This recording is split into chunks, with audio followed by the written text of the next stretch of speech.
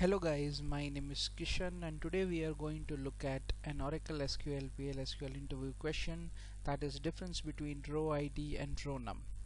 Now both of them are quite different from each other but this is a very commonly asked interview question so let's take a look into it.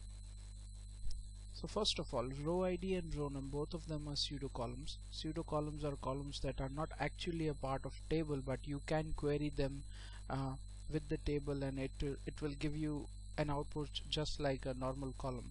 But you can just select from these columns. You cannot insert update or delete. So these are like columns that are you know either get populating on the runtime or you know they are oracle um, used columns uh, such as this row id now this row id basically contains the address of the row. It contains the exact location of the row. Like as we know the data is stored in form of blocks uh, oracle blocks in the database.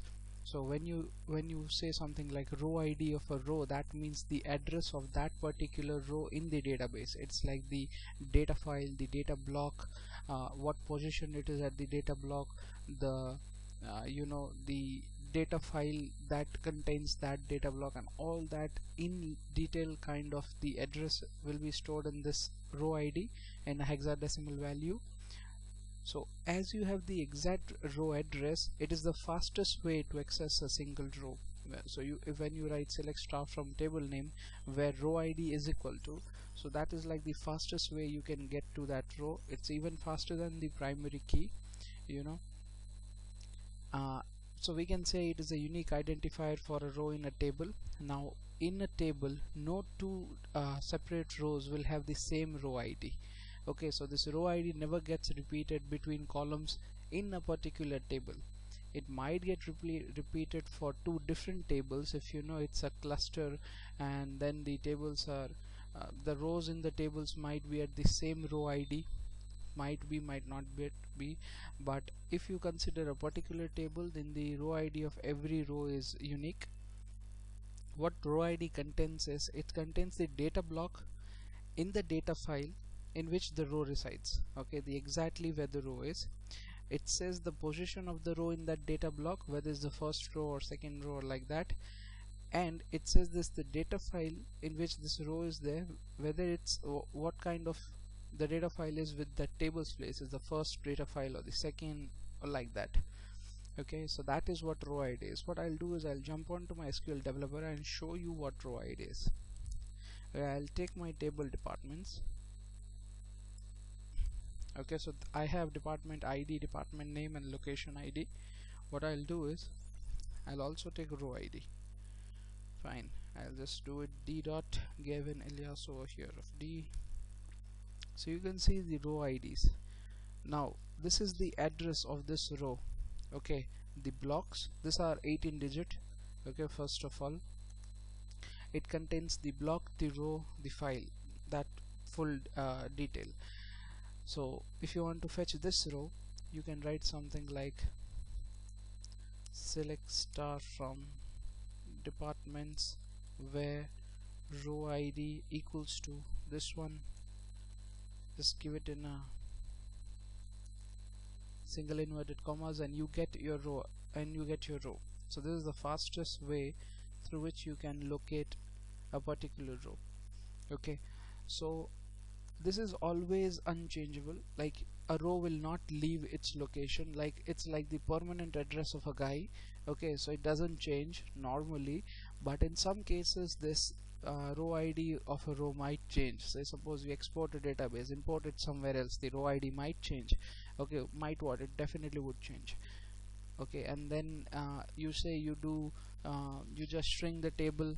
Okay you remove uh, you you just uh, you know delete this record and then you insert some other record. Then might be that that particular row ID now refers to some other row. So that way it can change.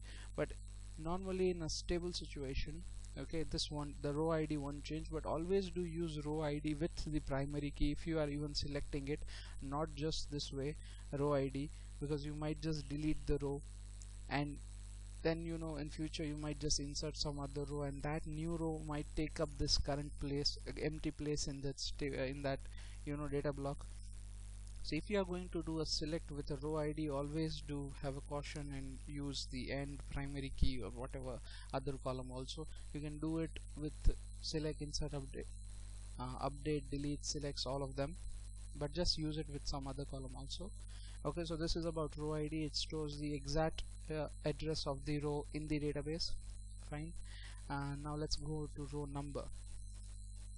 This row number is quite simple it it just returns uh, a number for each row that is returned by the query. So if the query returns one row the row number will be one. If the query returns four row the first row selected will get the number one the second row selected two three four like that. Okay? So I'll just show the same thing again.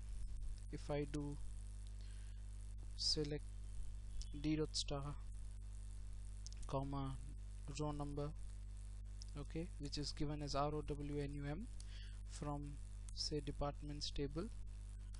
Given alias of D. As you can see row number is just a number.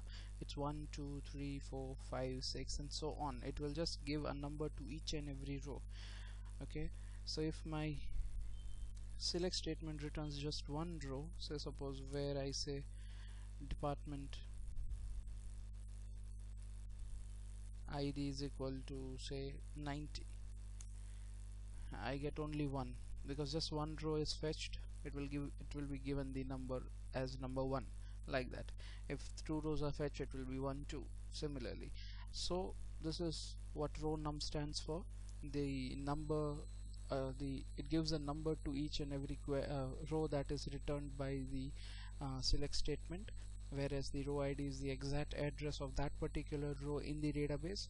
So these both are quite different but this is a frequently asked question what's the difference between row ID and row num? You know they get a chance to understand your concepts on the row number which is then used widely in the analytical functions. Also they uh, understand about how you know about the Oracle database and this data blocks and extents and data files and table spaces and all if they ask you what row ID is. So I hope this video is informative. You guys enjoyed watching it. Please do subscribe to my channel. And please do like share and subscribe this video. This is Kishan signing off. Thank you